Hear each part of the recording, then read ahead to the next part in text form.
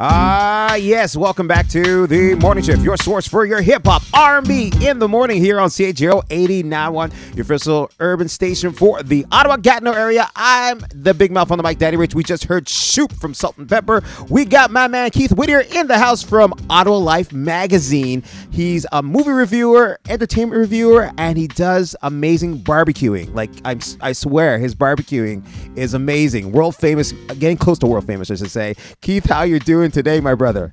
I'm doing fantastic, fantastic. Thank you. I I'm going to tell you something. Sixty percent of the reason why I love coming on your show is the introduction, and thank you for repping my phenomenal barbecue well, skills. I, Culinary genius, I am. I happen I happen to see your Instagram post there when one of your friends message you and say, "Hey, I'm doing these uh, ribs. How could I cook them?" You're like, "Whoa." That's on. I can I do. This. I can. I got this. I can tell you. I got this. So, I got this. Absolutely. so, how's the month of July been treating you, and what's new for our listeners out there to uh, watch? Yeah. So the month of July is treating me pretty well. Listen, we're in the second phase. Um, we've got uh, phase three coming up. I'm excited about that, not just because it's phase three, but movie theaters open up with phase three, so that's that's a lot of fun. But before that happens, we still have uh, the option of watching films digitally. So that's great. And uh, and again, of course, for our friends over on the Gatineau side, Star Cité Theater is open. But given the choice, I would probably you know go with the digital option. But in terms of the big movies, of course, this weekend we are talking. It's all about Black Widow. We've got another Marvel film coming to us. I am so excited about this. Of course, Black Widow, played by Scarlett Johansson. And here's the funny thing: before we jumped on air, you're like, "Oh, you saw it already." You say to me, "You're like, oh, don't ruin anything." Here's the fun part: first of all, you should know better. I'm not going to ruin anything. Awesome. But we all, but we also know anytime we're talking about Marvel, those words "spoiler free" have to come up into the review because we're all nervous. There's a lot of trepidation. We don't want to know anything. We want to go in organically and be surprised. So let me say this: there are certain boxes that Marvel movies need to check off, just like any movie, really. Is it entertaining? Yes. Does it further the Marvel story? Yes. Does it does it develop new characters? Yes. Is there a post-credit scene? Absolutely. Should I wait to the theater or see this on Disney Disney Plus? Here's the thing. If theaters are open like near you and you want to go to the theater, absolutely. But as most of us are still in a, in a position where we can't go to see theaters here in Ottawa, get it on Disney Plus. It's worth the $34.99 or whatever it is. It yeah. is definitely worth it. A couple of weeks ago, I would have told you that Cruella was the best movie that Disney Plus put out in this in these COVID times now I have to second guess that because with Black Widow, you've got a strong female character that is basically putting Wonder Woman and Captain Marvel on notice. No. I think Scarlett Johansson, yeah, I think Scarlett Johansson was great in this. I think Florence Pugh, who plays her sister, is phenomenal. And if you don't know Florence Pugh, you need to check out, uh, a lot of people will say Little Women. I'll tell you to check out Midsommar, a solid thriller horror movie. She was amazing in that this is a bright, bright uh, young talent in Hollywood, and you're going to be hearing her name for a while. I believe she's already been nominated for an, an Academy Award. But again, solid cast in this film, including David Harbour and Rachel Weisz. It's fantastic. It's unfortunate that it got pushed back because of COVID, but it's here now. Definitely check it out. It's fantastic. And let me tell you, Disney is just so phenomenal at moving the, the, the, the pieces on the proverbial chessboard. They know what they're doing. Things are so well well planned out. This is a fantastic film. You're doing yourself a disservice if you don't see it. Yeah. Black Widow, adored it. Great so, movie. Quick question: How was the now? This is not a spoiler, but how was the yeah how was the family I um her family more or less, you know, like her father, her mom, and the sister. How was the dynamic for that part of the storyline? Well, I would say that probably like a lot of families, somewhat dysfunctional, but that's what made it fun, right? I mean, there's always a fun comedic element, you know, undertone with a lot of these Marvel films, and you're yeah. definitely seeing it. You're definitely seeing it with with with with Black Widow. I mean, each of these characters is very entertaining and they all have kind of like an interesting thing going on going on with them and it just it just works. None of this feels forced. None of this feels like i never feel like they're like i'm like i'm you know like the, there's some sort of milking of money of with all these projects. Yeah. I just look at it as great storytelling and and and just when you think one door closes other do- other doors open up. So it's it's a lot of fun. And i will say this um, for those who have been watching a lot of the different shows that have come on uh, disney plus like wandavision like loki like falcon and the winter soldier you're going to appreciate this movie all the more. Really? Ah. now, the the class last one I have to ask you about. Do people have to sit through the the the all the trailers for any scenes? You know, the oh, you mean the post credit post-credit scenes? or- scenes. Yeah, how many post Yes. credit? You can always spoil that. You can always spoil that. How I'm not. I'm going to say, listen, it is a Marvel movie. Marvel Yeah. has has gotten to the point where they they they take advantage of every inch of that of that, uh, that filming tape. They're going to go right until the end. So yes, post credit scene, stay till the end. All you right. won't be disappointed. There you go. Hundred percent. All right. What else you can recommend for the people to uh, enjoy for the July month right now? Okay, so let's talk about uh, let's talk about uh, another movie that I that I recently had the uh, the opportunity of seeing, and that's a movie called The Ice Road. Now, this is a new film with Liam Neeson. You remember him, don't you? Yes, I remember Liam Neeson, him. Of course, listen, him and his he's he's got his special set of skills, which of course we know from Taken, and then he kind of had like a huge PR nightmare not too like Not a, long a few years ago Yeah. and he's in a movie which I'm very, you know, I I, I want to bring to the people because this is a movie that was made in Winnipeg. And basically, the yeah, the, the plot of the movie is is that a group of miners are trapped, Yeah. and Liam Neeson leads a team of people who have to travel along this long ice road which you know it's, it's it's bridged off. You're not supposed to be going on it because it's a road of ice and it can crack and break and you can go under. And they've got to take these big trucks across this ice road to to to, to save them all the while there may or may not be some forces that don't want them to get there listen this is a fun liam neeson movie this is one of those movies i dialed in Yeah. on uh, I dialed in on a, on a on a Saturday night. I said, okay, what's available? What can I check out? This movie was there. I, I I watched it. I enjoyed it. Is it the best Liam Neeson movie? No, but was it enjoyable? Absolutely. Am I glad that I checked it out? Absolutely. It was a lot of fun.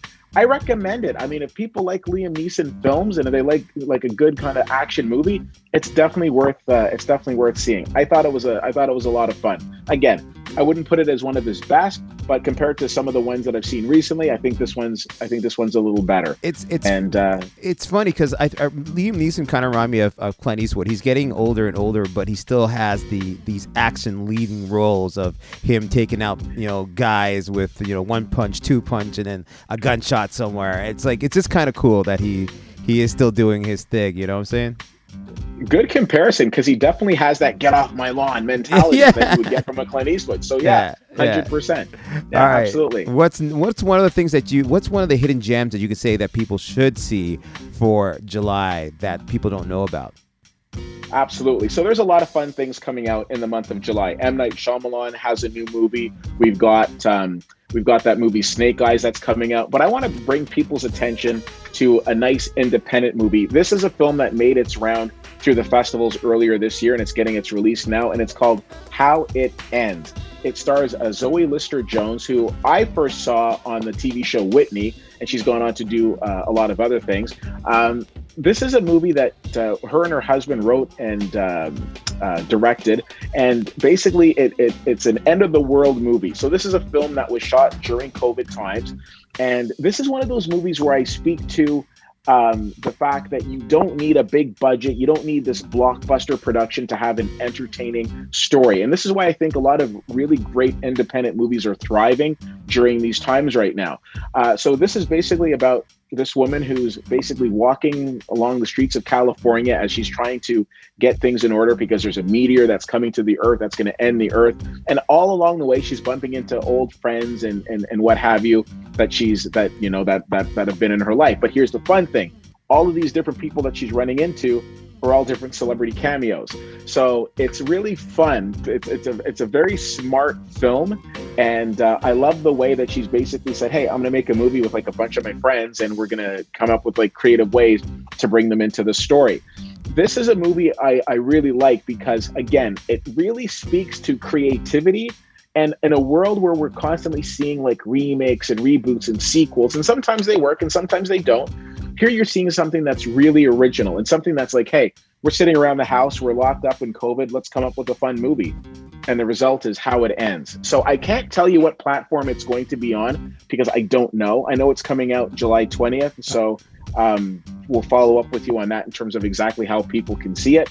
But uh, I'm excited for people to check it out. I'm not, again, selling this as the greatest movie or anything like that, but for a fun, original type of film that's different from what we see week in and week out, how it ends is uh, is definitely going to be on my uh, must see for the month of July. You got me. It, it kind of remind me of uh, this is the uh, this is the end with uh, with um oh jeez the name oh the with the yeah, guys we're, we're looking at uh, yeah yeah yeah I know like um uh, uh, just- now that now you now, Now you- got it now, now you did it to me um I see that there's the brothers uh, Jason from Montreal he's in it too uh, Jason Segel is yeah, in it uh, um, Jay, uh, uh, Jay Baruchel is Jay in Brissell it. yeah um yeah well, the list goes on. Yeah, this is guy. this is the end. It's it's a really funny movie. Uh, uh, uh, Craig Robinson is in it. Hill. Jonah Hill, Jonah Craig Hill is Robinson. There we go. We got it. It was so it's kind of Hermione yeah Hermione. Hermione. It's kind of remind me how, Hermione. how how you're telling me this kind of remind me uh, about that. So it's kind of cool because they, they brought all their friends celebrity together. It was the end of the Yeah. world kind of thing, and I really want to see this movie now. After telling me their celebrities gonna be like popping up as uh, in Yeah, the cameos. absolutely. So it's going to be really good. Uh, now, is there anything else you want to end off with uh, for the uh, listeners out there? Yeah, absolutely. There is a movie that's out right now on on uh, Prime Video called uh, The Tomorrow War with Chris Pratt. So this is a movie that I recently had the opportunity of seeing. I got to tell you something. This hasn't happened often during these COVID times, but every now and then a movie comes along and I'm like, I wish I'd seen it on the big screen. Yeah. The Tomorrow War is on that list. It's probably close to the top of that list. This is such a fun action ride. So basically, it's kind of like we've got some Tenet in there, we've got some Interstellar in there, we've got some time jumping going on. We got basically uh, Chris Pratt uh, leads this team that has to basically jump to the future to fight something that you know is going to be threatening the entire population of, of the world. And it is a fun action ride. Is action on top of action. There's a lot of great foreshadowing in the movie. There's some fun comedic elements in the movie. There's some strong acting in the movie. I really enjoyed this uh, i know we're coming up to the end of the segment but the tomorrow war is on amazon prime. Check it out. Blast the stereo. Wake up the neighbors. This is a fun fun movie. This is this is what movies to me is really all about. Going in and taking a couple hours off of your life and being distraction being being distracted by by by what's on the big screen and the tomorrow war really delivers for me. Yeah there's some plot points in there that don't really make a lot of sense but that's why you turn your brain off. So i really enjoyed it. I, I i i'm really excited about this movie. I'm excited to talk to people about this film. I think it just solidifies the fact that chris pratt is a great leading actor. Oh, he's awesome. and uh and yeah it was a, it was a lot of fun All right. Well, thank you for sitting down with uh, with uh, with the Morning Shift crew again, and to the listeners out there. Uh, where could they uh, reach out and get more information of any other movies that you can uh, recommend them through the month of July? Yeah, absolutely. Ottawa Life Magazine uh, is always a great place. Uh, Twitter, uh, CFL underscore fan, as well as Instagram is also CFL underscore fan. And uh, yeah, if there's things that you, uh, different movies you guys want to talk about, feel free to always drop me a line. Appreciate it. And you're going to be back again with uh, some more movies for us to talk about. So I, I can't wait to sit down with you. Uh, and uh, once again, what song do you want to end off a Friday morning with? And now it was funny because we were talking off air, and it was just hilarious the whole idea that we like, I've been playing a lot of male songs. Let's get some women Yeah. into that vibes now. So what song do you want to end off with today? Yeah, absolutely. We're talking a Friday. We're talking going into the weekend. We're talking getting people, you know, if you're at your desks, you know, wherever you are, getting people dancing and getting people bopping. I want to go with Woo Woo Party Time by MC Lyte. Yeah, yeah. All right, let's get into that here on the morning shift. Keith, once again, thank you very much for sitting down with us here. Let's get into Whoop Whoop uh, with MC Lyte. Let's go.